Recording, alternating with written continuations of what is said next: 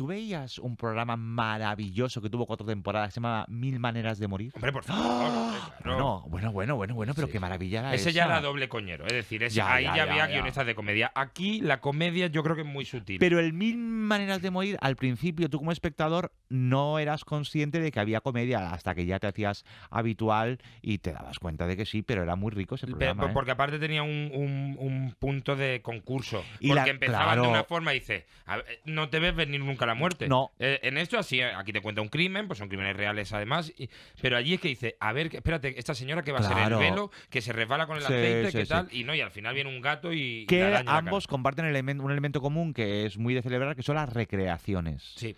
Las recreaciones de los crímenes, las recreaciones de las muertes, cuando están bien hechas, qué ricas son, papi. Eh, yo tengo varios amigos que han trabajado tanto en efectos como en rodaje y tal, de las recreaciones de Cuarto Milenio. Ah, Eh, Oh. Que ahí, ah, ojo, ahí había, ahí había viruta y se lo pasaban muy bien. ¿eh? Pero es curioso porque las recreaciones de Cuarto Milenio son recreaciones de cosas que nunca sucedieron. Ya, claro, claro, sí, sí. Esto- Hombre, algunas veces tienen cosas históricas. ¿eh? Ah, Luego- vale. Ta- también coquetea con el misterio. Kennedy, Kennedy le mola mucho. Cuando no tiene nada que contar, Sí. vuelve a contarte lo de lo Kennedy. de Kennedy, pero con una, con una teoría distinta. Tiene una querencia No, por no pasa nada. JFK. Así que nos gustan mucho los programas Muchísimo. de crímenes. Esto es un sí y. Volvemos a coincidir, lo sentimos